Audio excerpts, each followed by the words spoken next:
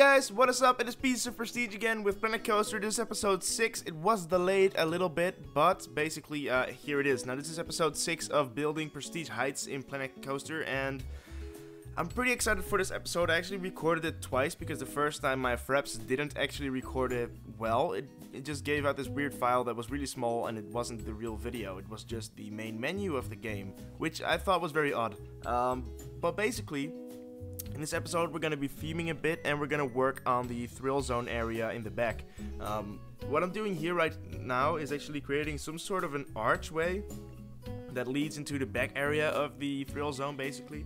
And I tried to make it as complex as possible while still still keeping it structural uh, because I really like I really like structures. I really like to see steel structures and concrete structures inside of theme parks. Basically, I really think it's interesting uh, since most theme parks actually like try to hide such things uh, with just architectural stuff.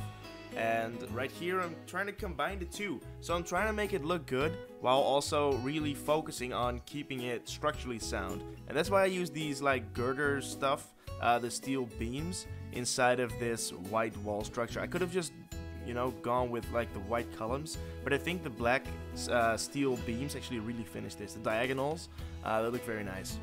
So basically, uh, this area is going to actually connect, well this path basically in this area is going to connect to the path in the end where the coaster basically is. I, am saying basically too many times, uh, but basically it's going to be connecting, it's going to be kind of a, uh, a circle path with in the middle a flat ride and I'm not sure well I'm actually kind of sure what the flat ride is going to be it's going to be I think it's actually the biggest one I didn't really put I didn't want to put like the the big ones up uh, because what I really don't like is the flat rides in Planet Coaster. Their footprint is very big, and you can't place anything inside of the footprint, of course. Um, but it makes it just kind of easy. Uh, well, actually, it makes it harder to theme the ride because you have to build totally around it, and it's kind of a challenge. And I didn't really want to do like a big flat ride, but in the end, I actually decided to grab the biggest. You know, just go for it. If we're gonna do it, we're gonna do it big. Uh, so you can see that in a couple of seconds. Now right here, just adding some more foliage. I also added that red flower hedge right there uh, with a little wall. It's just decorative, you know, to fill up the empty space. I don't want it to be like a ride and then just a simple path and then the next ride. I wanted to, you know, the paths, I want them to have an experience too, the people that are walking along the paths. And I think flowers is a great way to kind of give off a, a, like a vibe, you know, flowers, lanterns, and walls. That's basically all you need. And um, yeah, I'm really happy with it. Now, I do think it's kind of monotone but I do have going on uh, with the like the ticket booths right now. I might try to um, hide them up basically with building structures. I haven't thought about this a lot, um, but I think actually that's that's a pretty cool idea. I'm gonna experiment with that a little bit. You know, try to make some kind of a structure that would hide the original ticket booth, the yellow arch. Um, and kind of create something that's a little more realistic. Now here you can see I'm, I'm trying to look for a flat ride to place and I decided to go with this one and I'm kind of I'm kind of really happy with it you know it's a um, it's called a Genie and it's kind of the I think is it the Chaos from Roller Coaster Tycoon 3 I'm not sure if this is the no I think the Chaos is actually the one um, with a disc spinning on the end of an arm but something like that um, I'm not really sure what it's called Please remind me. Anyhow, I'm just connecting up the two paths right here. Um, I didn't want to really connect them in a like in a style that is a um, a continuous path. I kind of wanted it to be a T-junction, and I wanted you know the bottom part of the T basically to come to the area because I want this to be a side area. It, does, it doesn't really have to be the main area, and the main path is gonna go on straight while it has a branch that goes off into this area. That's basically what I was trying to go with. And here you can see I'm, I'm trying to theme uh, the building, basically the station building for this ride, and I'm, you know, I stick to the wavy pattern in the wall, in the roofs. I really like the way that actually works out with every single building. Now, what I first did is kind of make the the rough cut building that I wanted, and then deleted the original uh, roof that I placed on it so that I can add some interior work. Now I didn't really want to do any big interiors because of course it's a queue line uh, but I did actually want to place, you know, some uh, some beams and some columns, and actually these pipes right here, the steel pipes, they worked out pretty well. I'm pretty happy with how how they look uh, on the inside, and also wanted to do some uh, basically some curved beams on the um, on the inside that you can actually see underneath the roof. And I think that looks very nice. You know, you can actually use these roof trims underneath the roof as well, and it kind of it kind of works.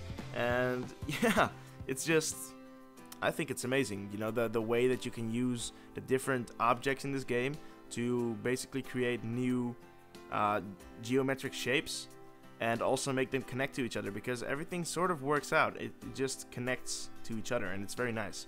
It also doesn't really glitch. And you know, in Roller Coaster Tycoon 3, you had this problem where you use custom scenery and sometimes the like it would be really annoying if the textures actually overlap and then it would flicker a little bit.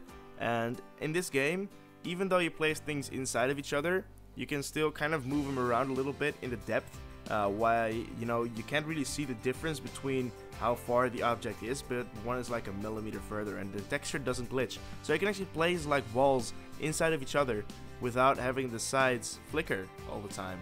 And I'm, you know, I'm, I'm really excited about that.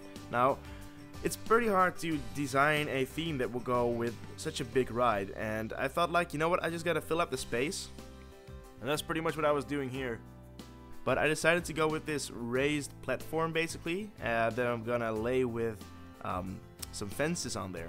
But basically, this this area right here, I'm not sure what it will do yet, but it, it you know, in the end, it, it's gonna do something. Uh, it's gonna have, I'm not sure what it will have, but it's gonna have something uh, on there, actually, as scenery. Now, adding some planters, I really want to make this park look full, like it is actually finished. And that's why, you know, all these little nooks and crannies right here uh, that you get, you know, the in the little junctions in the actual path, I kind of want to fill them up, and the way I fill them up is with buildings and little stalls. And right here, I actually added a little chief beef, which I think looks very nice. Uh, in the end, the building, it's basically just you know these two walls that are curved upwards, and then a flat roof on the top with some signs on there. And in the end, it really works out. I really like the music that they actually play in those uh, cafes, basically in the stall itself. Uh, it's basically the, I think it's sort of a cover of the uh, in-game menu music. And I think, you know, the music in this game, uh, there's not a lot of it, but it's, I gotta say, from what I've heard, uh, like, until now, it is very good. Now, adding these spotlights, I really, you know, I actually found out that you can place them on any surface you, you want. You can even place them upside down. But the way that they work is you can just point it at anything. It doesn't have to be at the building they're actually in. Uh, so it's I'm trying to you know light up the station building and also uh, the ramp on the end of this uh, flat ride basically. And I think it, in the end it kind of worked out, and I'm really happy with the way this area right now is uh, is turning out. Now here trying to do something experimental, I tried to make a roller coaster kind of um, artwork somehow with the roof trims, and I think this actually worked out great. Now it does really fit the theme right here with the um, the genie ride, which basically goes over a wavy pattern in a back and forward motion uh, while spinning. And this kind of, I don't know, it, it, kind of portrays that, you know, that motion, that fluid motion that you go up and down. It's, I really, I really like the way that it, you know, um, it stands out a little bit. You know, it, it, also covers up the ugliness of the ride itself because I really don't like, you know, the the big uh, sign on the side of the uh, ride, but it kind of, you know, it covers it up, but it also exaggerates the feeling that you get from this area. And there's going to be more flat rides in here. There's also going to be more structures, so you can go ahead and basically get excited for that for next episode because it's going to be then uh, that we actually expand this area. But for now, I want to thank you guys for watching, and I'll see you guys in the next episode. Peace from Pieces of Prestige.